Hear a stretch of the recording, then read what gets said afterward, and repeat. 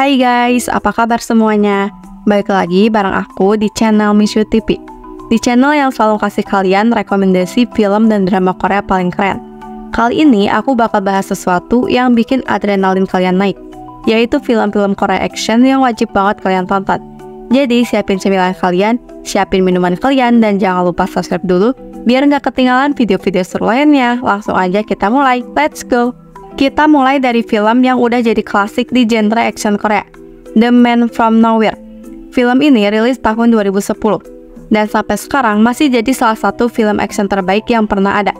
Tokoh utamanya Cha Tae-sik, diperankan sama Won Bin. Ceritanya tentang seorang mantan agen rahasia yang hidupnya berubah total setelah berteman dengan seorang anak kecil. Ketika anak itu diculik sama geng narkoba, Tesik nggak tinggal diam. Kalian bakal lihat gimana dia berubah jadi mesin pembunuh demi nyelamatin si anak.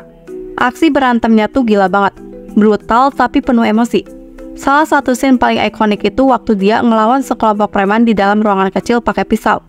Kalian bakal lihat koreografi pertarungan yang keren banget. Detailnya tuh bikin merinding. Selain aksinya, cerita film ini juga bikin kalian peduli sama nasib karakternya. Jadi, kalian gak cuma nonton berantem doang, tapi juga ngerasa terhubung sama perjuangan mereka. Makanya, film ini wajib banget masuk list tontonan kalian. Next ada Train to Busan, yang rilis tahun 2016. Ini film zombie yang gak cuma tentang lari-larian dari zombie doang, tapi juga soal gimana manusia bertahan hidup dalam kondisi yang penuh tekanan. Ceritanya simpel, tentang sekelompok orang yang terjebak di dalam kereta saat wabah zombie menyebar di Korea Selatan. Tapi yang bikin film ini keren banget adalah karakter-karakternya yang kompleks dan punya dinamika hubungan yang kuat. Misalnya hubungan antara Sokhu dan anaknya yang jadi pusat dari film ini. Perjalanan mereka di kereta itu penuh dengan momen-momen tegang yang bikin kalian nahan napas. Kalian bakal lihat gimana mereka berusaha selamat dari zombie, tapi juga harus menghadapi sisi gelap dari manusia lain yang juga pengen selamat. Aksi-aksinya tuh intens banget, apalagi waktu mereka harus ngelewatin gerbong-gerbong yang udah penuh zombie. Selain itu, film ini juga punya momen-momen emosional yang bikin kalian bisa nangis di tengah-tengah ketegangan. Gak heran kalau film ini jadi salah satu film zombie terbaik sepanjang masa.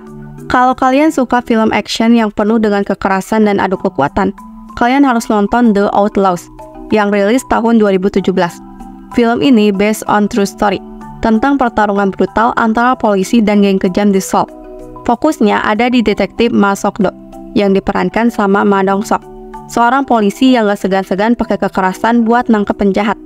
Di sini kalian bakal lihat gimana dia ngelawan Jang Chen, seorang bos geng dari Tiongkok yang gak kalah brutalnya.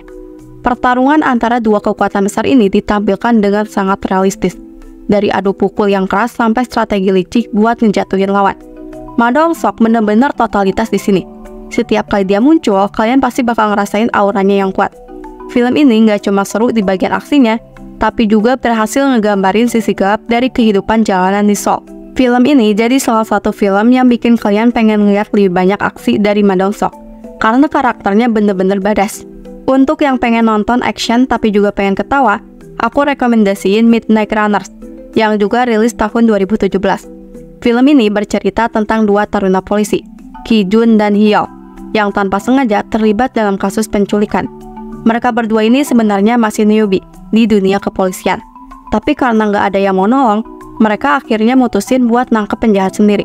Aksi-aksi mereka penuh dengan momen-momen lucu, karena ya mereka berdua sebenarnya masih amatir. Tapi justru itu yang bikin film ini unik.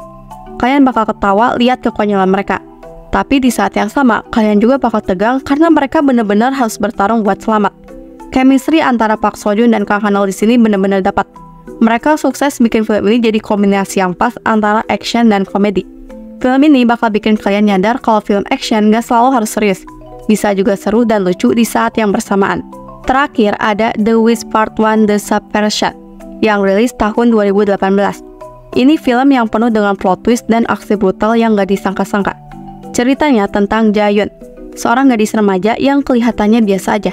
Tapi ternyata dia punya kekuatan super yang luar biasa saat dia mulai mengeksplorasi kemampuannya, Jayun terlibat dalam konspirasi besar yang mengancam hidupnya. Aksi-aksi di film ini tuh benar-benar intens, terutama waktu Jayun mulai ngeluarin semua kekuatannya yang dia punya. Kalian bakal kaget lihat gimana seorang gadis remaja bisa berubah jadi mesin pembunuh yang nggak bisa dihentikan. Selain itu, plot film ini juga penuh dengan misteri yang bikin kalian terus penasaran sampai akhir. Film ini nggak cuma mengandalkan aksi, tapi juga cerita yang kuat dan karakter-karakter yang menarik. Film ini cocok banget buat kalian yang suka aksi dengan bumbu sci-fi dan trailer. Oke, itu dia 5 film Korea action yang harus banget masuk list tontonan kalian. Kalau kalian punya rekomendasi film action lain yang juga keren, langsung komen di bawah ya. Dan jangan lupa kalau kalian suka video ini, kasih like, share ke teman-teman kalian. Dan yang paling penting, subscribe buat update film dan drama Korea terbaru. Thank you dan nonton sampai akhir. See you on the next video guys. Bye-bye.